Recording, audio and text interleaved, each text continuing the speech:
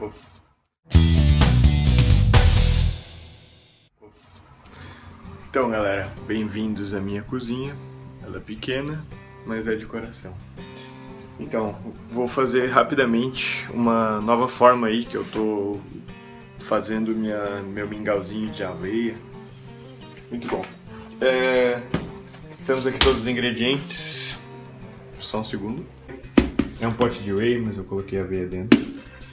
Whey, albumina, adoçante, se quer stevia e balança para saber que tá tudo nos conformes. Vou ligar a luz aqui, né?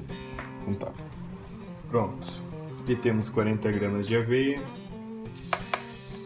Eu costumo fazer com água para que os macros não passem muitos. Aí,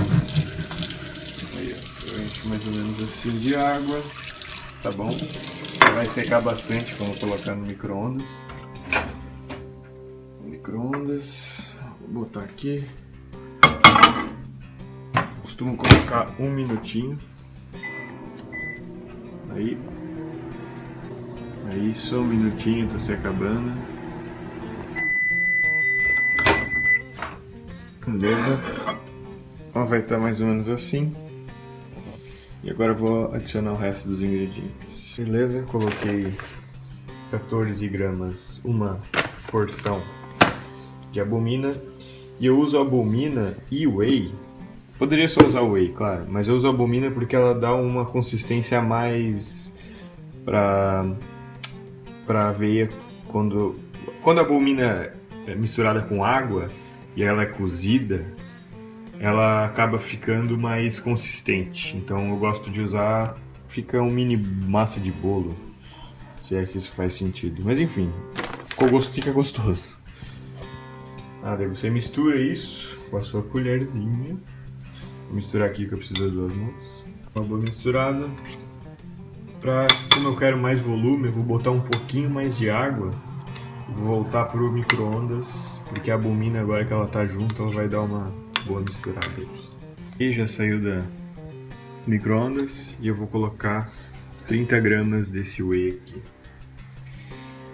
Eu comprei na Personal Suplementos. Isso aí. Mentira, não sou patrocinado por eles não, mas comprei lá. Aí, 30 gramas. Vou misturar aqui.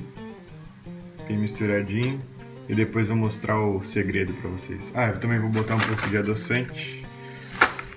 E é isso, galera. Já mostro. Bom, então. Aqui ficou a minha aveia.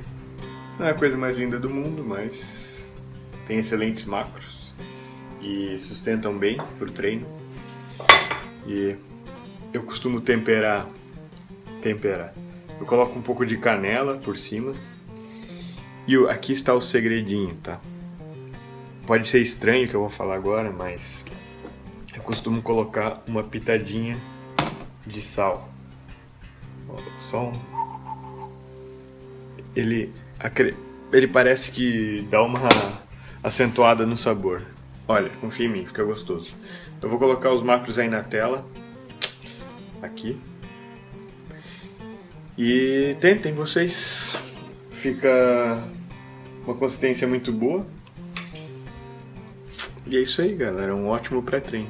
Valeu!